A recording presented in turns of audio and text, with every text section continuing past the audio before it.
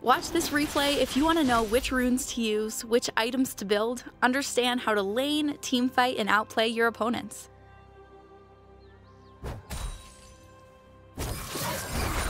First blood.